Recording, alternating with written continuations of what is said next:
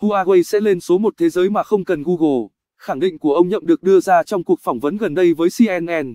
Theo đó, mặc dù Huawei chưa được sử dụng Android và các ứng dụng Google, nhưng điều đó sẽ không quá quan trọng về lâu về dài. Hãng công nghệ Trung Quốc đã bị chính phủ Mỹ liệt vào danh sách đen từ tháng 5, bị cấm làm ăn với công ty Mỹ và không được sử dụng sản phẩm phần cứng lẫn phần mềm.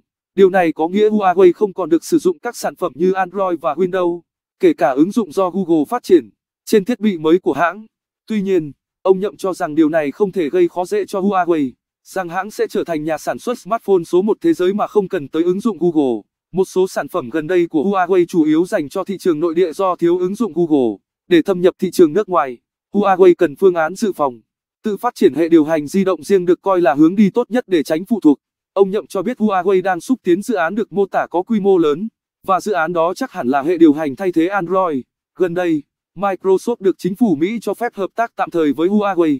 Với trường hợp Google, chưa có quyết định nào được đưa ra.